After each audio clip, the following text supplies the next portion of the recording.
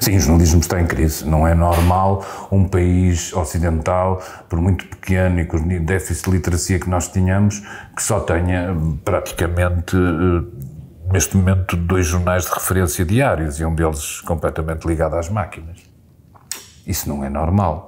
Não é normal que, que um, país ocidental do primeiro mundo tenha o nível de imprensa local que nós temos. Não, não é normal. Isto é uma crise.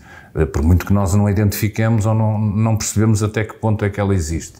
Uh, não é normal eh, que a maior parte, até das rádios, vivam em situações de fragilidade, de, de, de, tudo isso. Quer dizer, não, eh, é evidente, para mim me parece, apesar de haver agora, ultimamente, mais alguma movimentação pelo lado das televisões, que em alguns pontos epá, é porque não, não tiveram um mercado de novos mídias que os desafiem suficientemente eh, e que tenha a ver com esse atraso um jornal como o Público, não estou a dizer nada de novidade nenhuma, fez 30 anos e continua a dar prejuízo.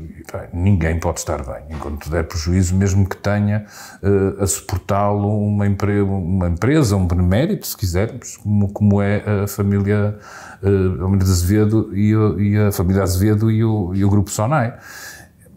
Não, epá, a gente gostava de dar lucro é isso que te torna mais livre, não que, que haja constrangimento nenhum. Este foi o, o melhor casamento. Eu já passei por, por muitos mídias, não conheço nenhuma relação de, de, de respeito e de, e, de, casamento como esta. Uh, mas isso não quer dizer nada. Nós, jornalistas, devemos, como em todas as coisas, acho eu um bocado na vida, conseguir sustentar a operação que fazemos, porque isso dá-nos liberdade e dá-nos, obviamente, mais poder para, para, para inventar, para fazer melhor, para, para criar coisas. E nós não temos essa possibilidade, por isso não haver crise. A segunda parte da tua pergunta é quem é que a abriu?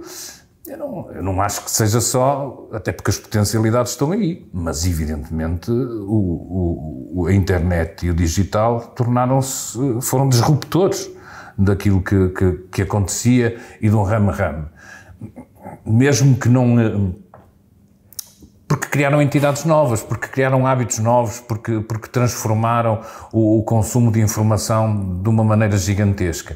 E, e voltamos àquela, àquilo que eu dizia, tanto, tu nunca tiveste tantos meios para fazer coisas e tanta facilidade para fazer coisas e, infelizmente, no caso dos jornais, nunca tiveste tão pouco dinheiro. Porque isto já foram negócios rentáveis que davam muito dinheiro, que, davam, que pagavam-se a si próprios que davam lucro.